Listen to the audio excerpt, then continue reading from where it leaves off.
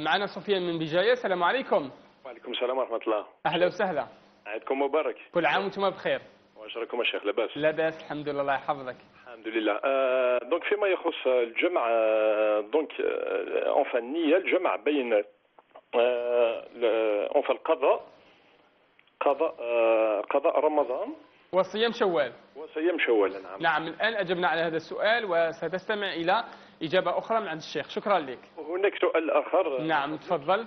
آه بالنسبة للمرأة الحامل آه آه هناك أوفى رمضان رمضان أوفى رمضان السنة ال- السنة الماضية. ما صمتوش ما صمتوش وما كفرتش؟ فوالا ما كفرتش. نعم. والس- والسنة هذه ومن بعد كيفي جمعت جمعت أيام كثيرة. نعم.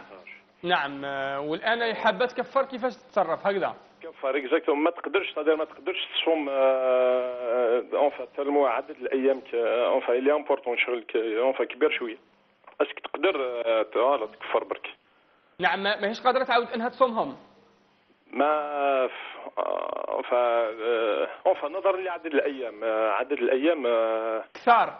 الله كثار exactement نعم شكرا لك. ستستمع إلى إجابة الشيخ. شكرا لك. جزاكم الله كل خير شيخ عليكم. شكرا لك. بارك الله فيك سيدي الشيخ. بخصوص الجمع بين صيام أيام شوال وأيضا دين رمضان قضاء دين رمضان هل يجوز ذلك؟ باختصار كي نجيبه على سؤاله الثاني. بالنسبة للتشريك في النية بين قضاء رمضان وستة أيام من شوال هذا محل خلاف بين العلماء.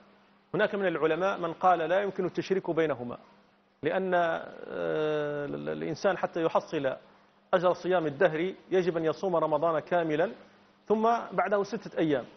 فقال لأن الحسنة بعشر أمثالها فالذي شرك في النية لا يتحقق له صيام الدهر. هكذا رأي بعض العلماء. وبعضهم قال يتحقق بالنية ويجوز التشريك ولا حرج في ذلك. يجوز الإنسان أن ينوي أن يصوم أيام في شوال بنية القضاء وفي نفس الوقت ينوي الست أيام من شوال. هناك نعم. من يجيز هذا من العلماء. وقالوا ال- ال- الأجر يحصل بال- بالنية. قالوا الأجر يحصل بالنية. إذا هذا رأي موجود. لكن نحن قلنا الأفضل الإنسان لو فصل بينهما لو صام ست أيام من شوال وحدها وقضى رمضان وحده. لكن لو كان الإنسان مثلا عليه أيام كثيرة من الصيام يعني مطالب بدين بدين آه، أيام كثيرة عليه من آه، من رمضان السابق أو من رمضانات آه، سابقة وأراد أن يعمل بالقول الذي يجيز التشريك ويجيز الجمع بين النيتين فلا بأس بذلك.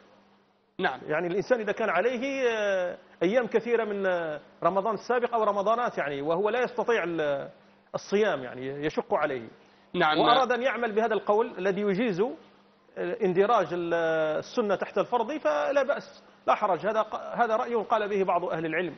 هو مثل صيام آه، القضاء في يوم الاثنين أو في يوم الخميس. لكي يحصل الإنسان ال- الأجرين يحصل أجر ال- القضاء رمضان ويحصل أجر ال- الاثنين وأجر الخميس. نعم.